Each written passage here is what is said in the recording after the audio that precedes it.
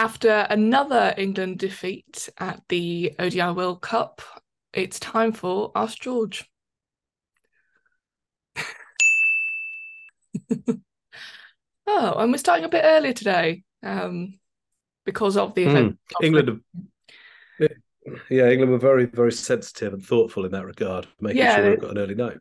Yeah, they've done that the past couple games. Knew I wanted to finish early, so they went. We'll we'll keep it down. Um, first question today, George, from Patrick, mm. Patrick Brennan, who asks, on a scale of losing two quick wickets after a solid opening partnership to 2013 slash 14 Ashes Armageddon, how bad has this World Cup campaign been? More 13 14 Armageddon, I think. I, I mean, you know, it's cricket and there's more important things in the world, but England did come as world champions and they have gone from champs to chumps quite quickly, haven't they? Because these have been thrashings. What was it, 25 overs remaining today? Yeah. And um, I guess there was so much more expectation in the past. Not a huge amount had been expected. Look, I, it's not quite answering the question, but actually, it's quite sad because it's been a brilliant side. It's you know we've we've seen rubbish English sides, and this has been a brilliant side that's played some of the most joyous, entertaining cricket imaginable by anyone, let alone England. Um, and you know they've won two World Cups, 50 of uh, 20 over, the only men's side to do that at the same time. And uh, they've played with a sort of um, aggression and verve that's been a joy. Uh, and for it to end this way, it, it, you know, to end so brutally and in such an ugly way, I don't know. I hope it doesn't tarnish the memories of those good days, but it is an ending. I mean, it's, it's clearly an ending, and it's a bit sad. And eras in English cricket tend to be uh, shorter than eras uh, in, say, Australian cricket. Yes. Uh, and this one has been sadly quite short, and it is time to start again. Yeah, it does, it does kind of feel. I mean, uh, you know, a decent chunk of those players you would still put in sort of an England greatest white ball team, but at the moment something's just not mm. happening, and it it does feel quite sad to see a sort of fade, really, of of the team that captured England, you know, four years ago. Um, yeah, yeah, I don't know. Well, not many, not many people go out on top. There's a reason that, that things end, isn't there? Exactly. You know, if things ended well, they wouldn't tend to end. Well, on the theme of ending, uh, Simon Clark has asked, should Mott be resigning after this World Cup? I don't think that's the key issue. Mm. Look, you can't pretend he's had a great time, and there will be scrutiny. Personally, that doesn't particularly motivate me. I don't think that's the key issue. But he hasn't shown any signs that he is one able to lift them, or two able to grapple with the issues which have brought them here. Mm-hmm. Um, but he might feel that they're mid competition and now's not the time to do it. And I think that would probably be a reasonable thing for him to say. But there need to be some honest, hard conversations afterwards, um, and he'll have to prove that he he's able to do that. Uh, English cricket has got a little bit hubristic, I think, in the, in the last little while because of the way they're playing. And um, you know, let's just remember that they they are going to be you know, very close to rock bottom of the ODI in the ODI World Cup, and they haven't won a Test series this year. So uh, a little bit of a wake up call for English cricket. And uh, is he part of the solution? I, am not sure how much part of the problem he's been. Honestly, I think that's a, a wee bit of a knee jerk reaction. Mm. Um, Tom Rigby has asked, rather than wait Rivers. Rather than wait for another prolonged inquiry, do we just call time on some careers as we look to build towards the next World Cup? Yes, mm. Abs- absolutely. There's not a lot of point having anyone in the side going forward who's not going to be there in four years' time, particularly if it's going to be a 50 over or 40 over World Cup, whatever it's going to be. Uh, there's a Champions Trophy in about 18 months or something that could be a staging post to it.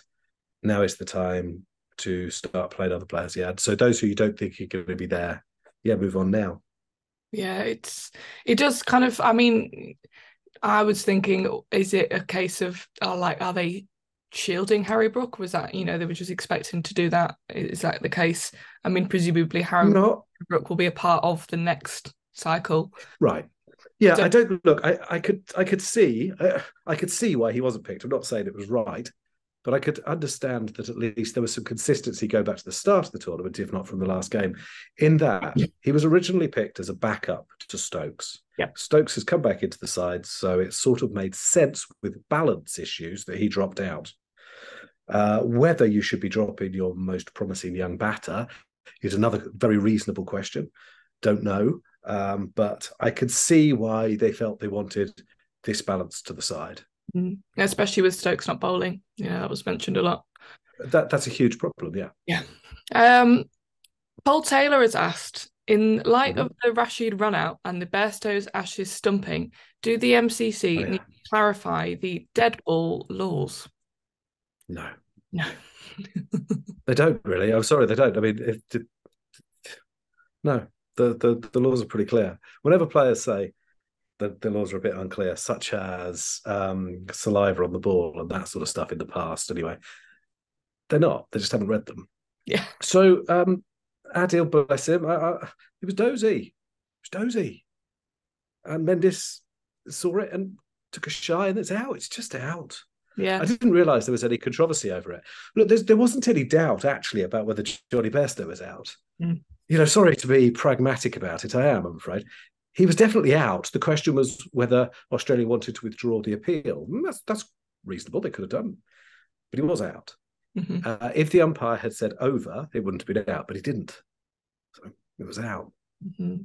So no, they don't need to clarify the laws, but maybe England need, England need to. Need to keep their bats. Yeah. well, they just need to keep the bats in the crease. It is one of the things. Yeah, but these these are the basics that they're not doing. Yeah. Well, we could say that about a lot of things, really. Uh, Sam Hurst has asked, who would you Thirsty. entrust with the massive rebuild and overhaul of the white ball team post this debacle? Doesn't seem like Mott is up to the job, and Buttler being captain seems to have frazzled his brain with bat in hand. Can we tempt Eoin Morgan out of the commentary box to coach? Yeah, I'm seeing the Eoin Morgan name a lot. I don't, I don't think it's the right name. Eoin Morgan obviously did brilliant things for English cricket hmm. as captain. He was the right man for the right job at the right time.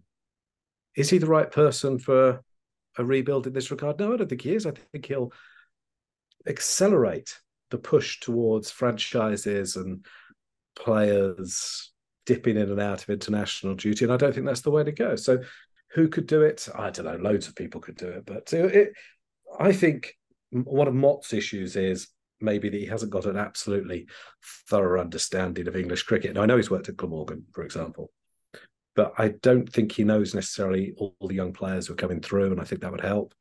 Um, I think they've got to look at how much 50 over cricket they're playing domestically and internationally, you know, as Joe Root said, you know, as they're beginning to say, as, as Mott has said as well. So uh, just on the Jos Buttler thing, I thought he was brilliant in Australia last year. He was such a good leader. Yep. He, he he he didn't have a side which allowed him to just do it formulaically. When Andrew Strauss was England captain, yeah, you could predict everything that was going to happen, and it was because he had a terribly good side. That's not criticism. It's mm-hmm. just you know you knew that Anderson and Swann largely were going to take the the would bowl after a, a, lunch interval, for example. You knew that um, if those uh, if Cook and Strauss didn't see enough, the new build Trott would come in and, and do the job. And you know they, they were a very very good side, and they, it was helped because they had Graeme Swann at his absolute best and all the rest of it. So it was quite easy to captain actually. You know, it's quite easy. Mm. Uh, just didn't have that at the T20 World Cup. He had to adapt. He had to do things differently all the time. He had to be so calm, and he did basic things like, you know, I don't know if you noticed the other day, but uh, Starc bowled nine overs well, you know, that's ridiculous. You know, if you've got one of the best, and he is one of the best limited overs bowlers in history, uh, he bowls his 10. And, and he didn't because the captain screwed up his calculations. Just never does that. Mm-mm. And it's one of those things that we take for granted. It's really hard. Um, so I think he, he did all sorts of things really well and he batted well. Right now, he looks like he's been asked to solve the issues in the Middle East, or he's got toothache or something. Uh, he, he, looks dour. He looks down. Mm. He doesn't look as if he's lifting the side. He, he looks as if he's a source of anxiety. Uh, and he's not batting very well. Mm. Uh, I still kind of believe in him, to be honest. Yeah, you, the, to. you know, like as you say, he has had these big moments as captain, and we know he he can. Yes. And you yeah. really do want to back him to like you know inspire this side, but something's just not clicked. Something's not clicked. Uh, yeah, I, I, can't quite put my finger on it, but they haven't played together enough there's definitely a lack of confidence. and confidence is massive.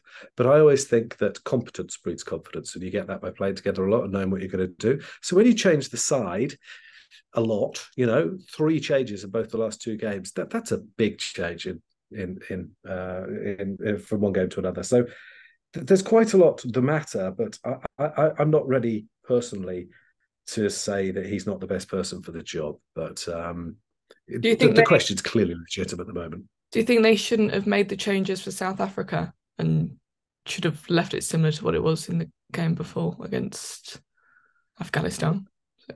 Um, I uh, none of these things are necessarily right or wrong. You know, I, I, know I say this all the time, but decisions aren't necessarily right or wrong. I mean, some things are, but very often you make them right or wrong by the way you play. Now, Joe Root today ran himself out because he looked nervous, which is odd. You know, one of England's most experienced, yeah. best ever ODI players looked very, very anxious and played the shot of an anxious, inexperienced player. You, you, you want better from him, but had he not, he could have gone on, and the balance of the side would have looked good. So it, it it's a.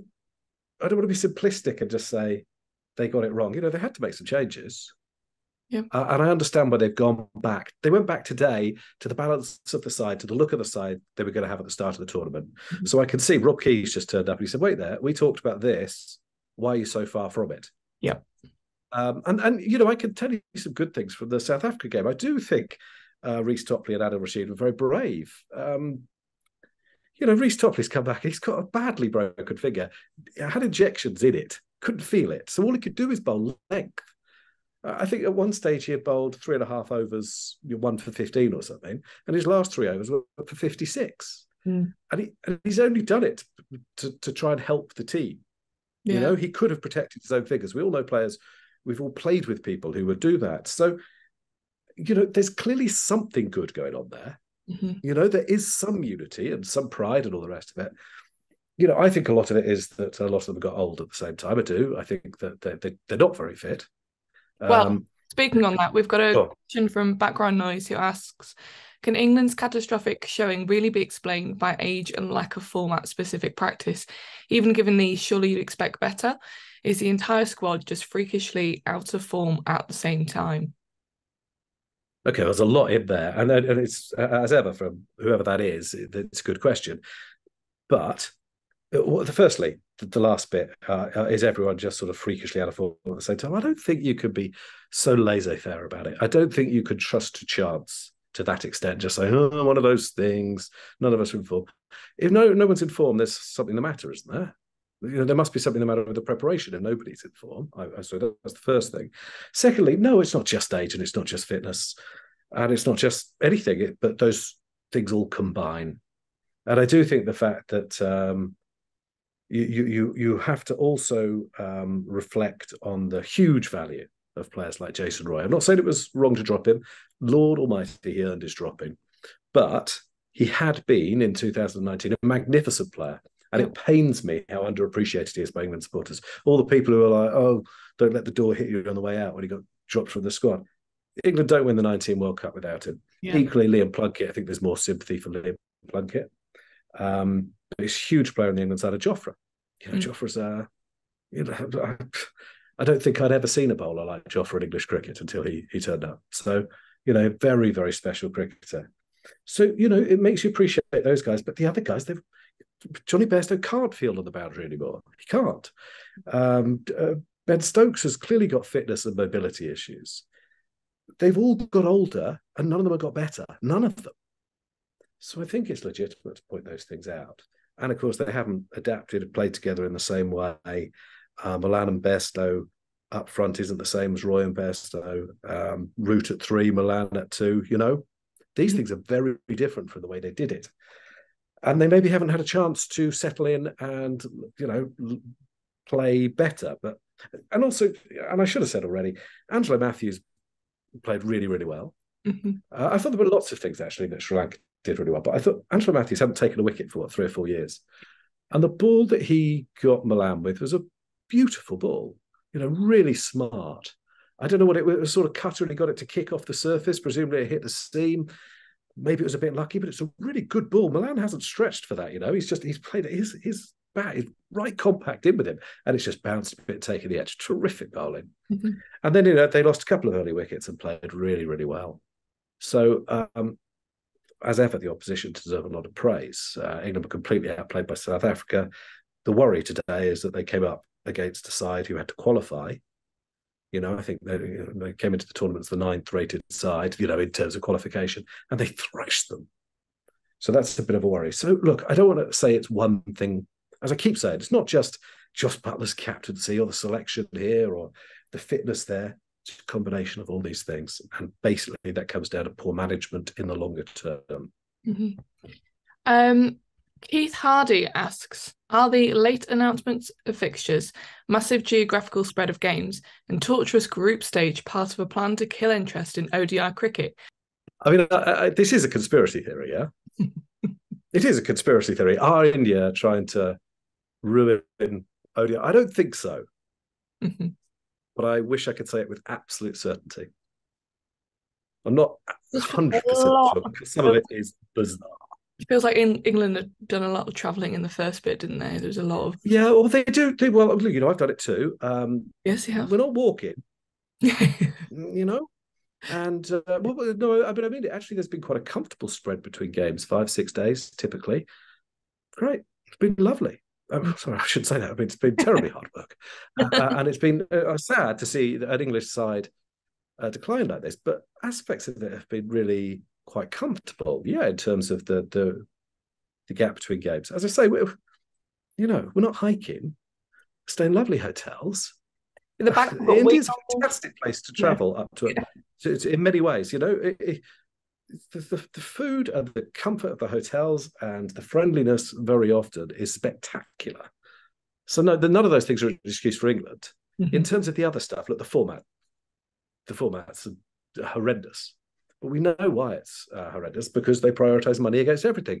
Since 2007, uh, you might not remember because you were probably you were so much younger than me, but there was a, a, a supposedly going to be a very uh, famous game in Barbados where they put on flights from India for the first time, direct flights, and it was meant to be India v, Pakistan in Barbados, and India lost their first two games or whatever, went out of the tournament, and it turned out to be Bangladesh v Ireland.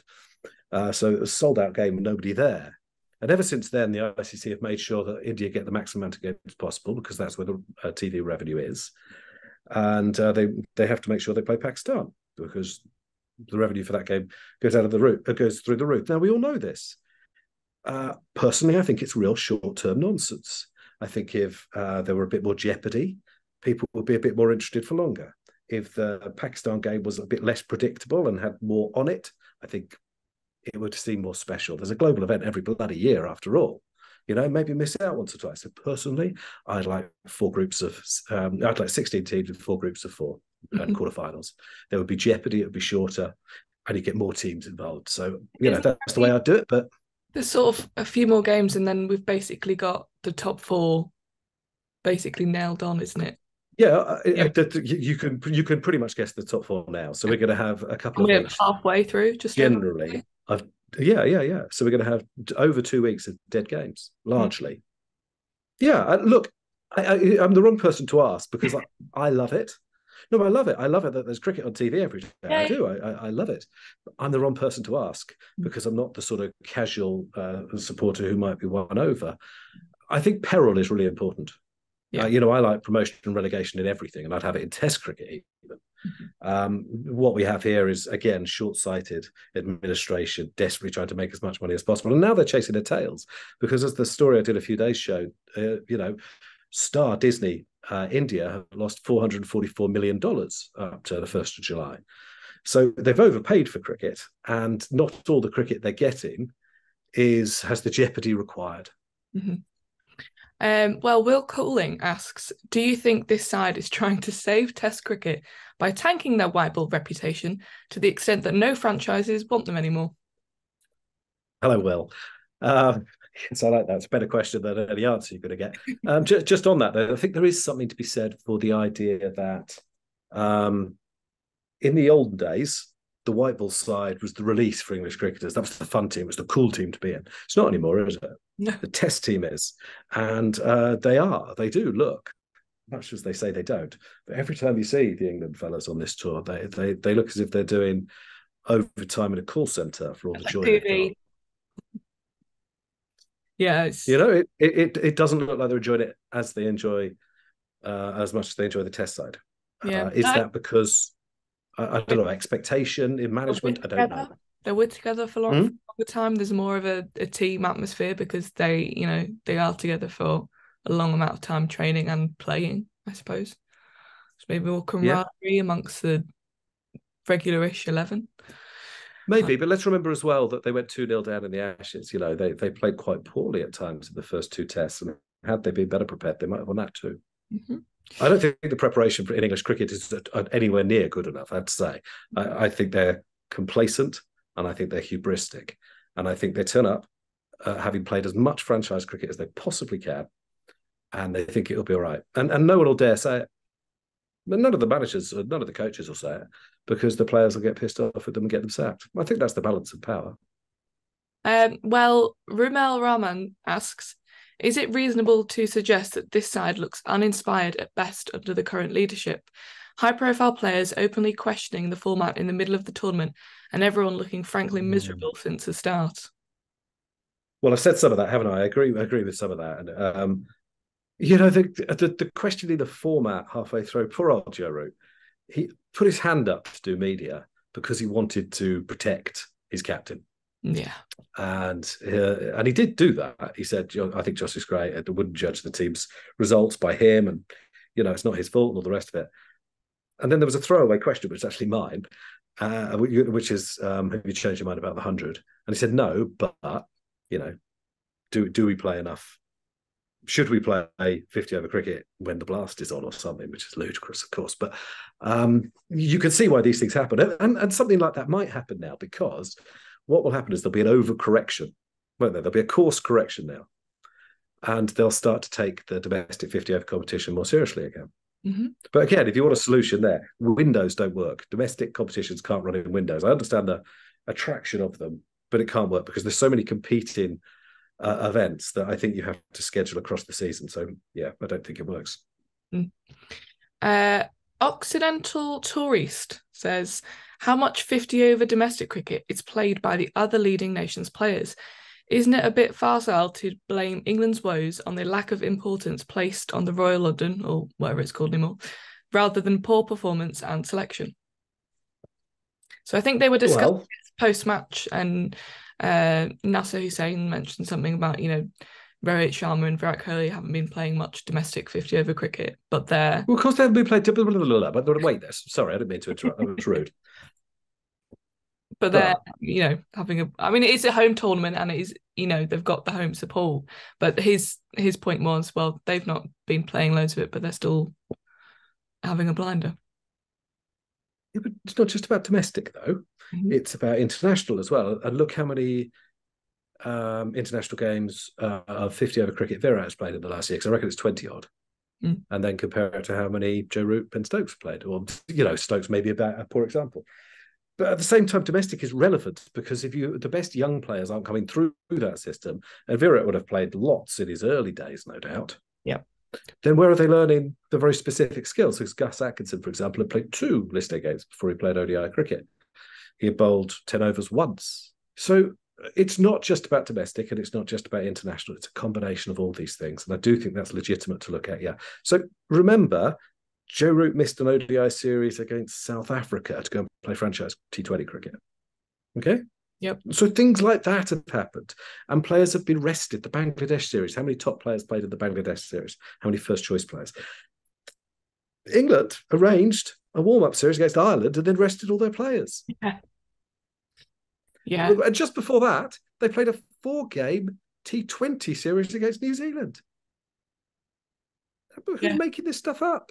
I mean, didn't he say? I don't know if it was Key said ideally we would have come to India and played some fifty over games there. Well, yeah, you know, rested them anyway. They Well, do it then. like- yeah, made the decision. Yeah, well, I mean, look, it, it- to be fair to him, it may have been arranged beforehand, Yeah, uh, before he came in. hmm But come on now, we can't learn all these things anew.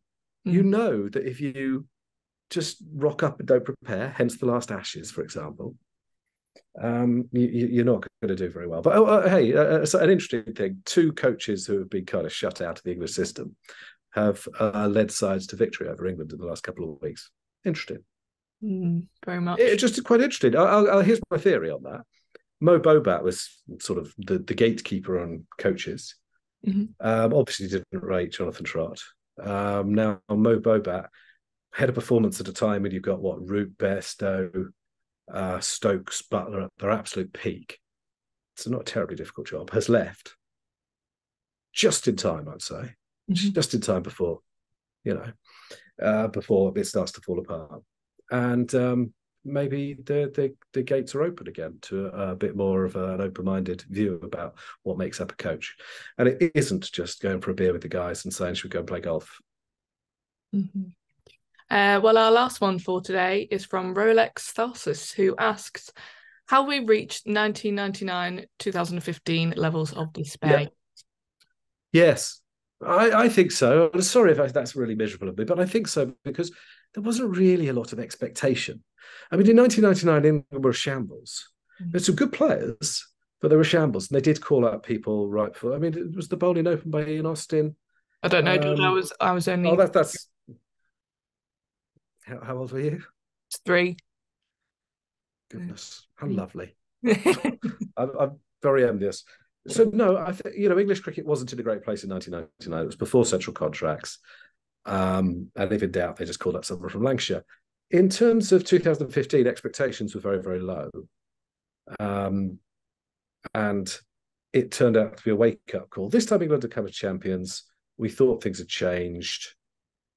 Expectations were higher, and it's been humbling, hasn't it? Mm. I, I, and, and, also, it feels like the end of a really nice story. Sorry. Yeah, I I don't think I expected England to even make the set. I just expected them to do all right, maybe make top five, maybe like a semi-final spot would be nice, but I didn't expect it because you know everyone else has been has been quite good, um, and they've not even done that.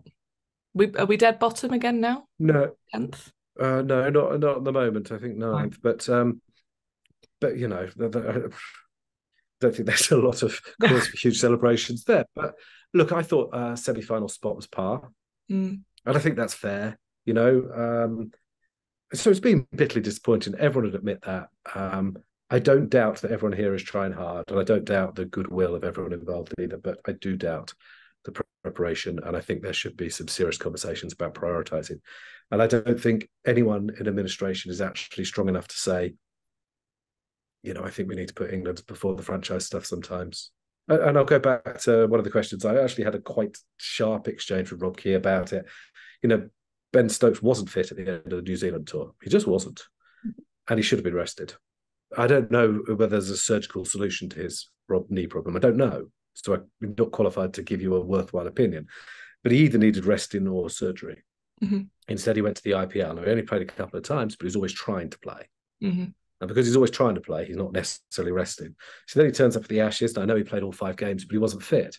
Mm. And here we are at the World Cup, but he's still struggling. You know, how many games he played? Two out of the five they've played. Mm. Well, someone's got to be strong enough to grasp this nettle. And I don't think any of them are.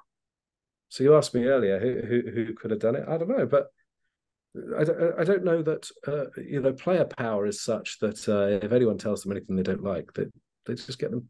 That's the end of them which is why you end up with a situation where the job of coaches is pretty much to buy the next round and book the tee times. Sounds good to me.